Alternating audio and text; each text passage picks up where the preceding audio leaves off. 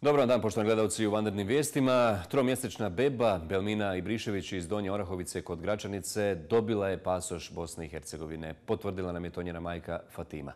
Belmina je još uvijek na pedijatrijskoj klinici Kliničkog centra Univerziteta u Sarajevu i njeno zdravstveno stanje je nepromijenjeno. A nešto prije 14 sati ispred Ekonomskog eh, fakulteta u Sarajevu počelo je okupljanje studenta. Kao što smo već i govorili u prošlim vijestima, oni će sa trga oslobođenja Alija Izetbegović krenuti do zgrade kantonalne vlade, a potom i do državnog eh, parlamenta. Slikom uživo ponovo idemo do kolegice Emine Delić, koja je ovaj put eh, na platovu ispred parlamenta Bosne i Hercegovine. Emina, lijep pozdrav još jednom. Evo, jesu li studenti stigli? Ognjene studente koje smo ispratili sa trga oslobođenja Ali Izetbegovića još uvijek čekamo ovdje ispred zgrade parlamentarne skupštine Bosne i Hercegovine s obzirom na to da su, kao što si sam kazao, krenuli pješke ispred ekonomskog fakulteta te svratili ispred e, zgrade kantonalne vlade. No i ovdje se okupio poprilično dobar, e, lijep, veliki broj studenta, nešto više od 200, 220 studenta je već sada ovdje ispred e, zgrade parlamenta.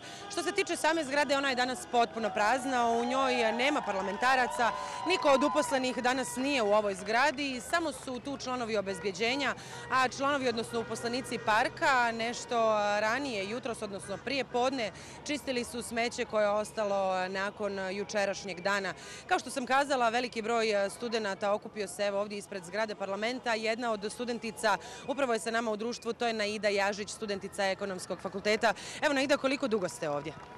E, pa došla sam u dva onako kako je protest i najavljen. E, čisto da najavim, znači mirno demonstriramo, iskazujemo naše nezadovoljstvo. E, apsolutno demantujem sve ono što govore da je politički izazvano, znači nema ovdje nikakve nacionalne retorike. Tu smo zato što sve te bebe zaslužuju pravo na bolju budućnost u ovoj državi, jednako kao i mi. Ako mi kao omladna koja smo nezaposlena ne možemo pokazati nezadovoljstvo. Naida, oprostite, samo trenutak. Ja ću zamoliti našeg snimatelja da samo pokaže našim gledateljima ovo što se upravo u ovim trenucima dešava. Evo, Naida, tebe ću zamoliti da staneš malo bliže meni. Dakle, upravo pristižu studenti koji su krenuli ispred ekonomskog fakulteta, a studenti koji su okupljeni već ovdje ispred zgrade parlamenta pozdravljaju ih aplauzom i zvižducima.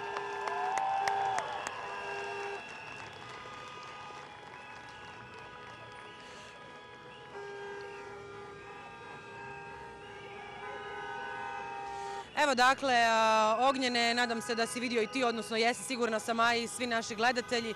Dakle, i oni studenti koje smo ispratili ispred ekonomskog fakulteta, sada su tu.